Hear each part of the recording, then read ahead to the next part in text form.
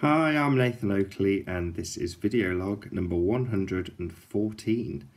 I often ask my guests about their religious beliefs, and one of the answers I've heard a few times with a few different variations is that if you do not accept that everything came from nothing, as is suggested in the heliocentric understanding that we are all taught at school, i.e., the Big Bang cosmology, if you are in defiance of that, you must accept that there is a creator. So that got me to questioning creation itself. How was I created? Well, my mother and father created me.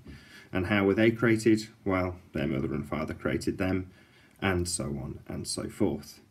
So, when you go back, do you have to draw the conclusion that at the point that you can't go any further, that there is no before the creation of the next generation, that that generation was created by God?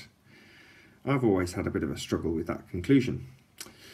I've always also struggled to phrase it in a way that's constructive. I've come under fire many times for questioning God, and this isn't necessarily the question I'm going to put in this video.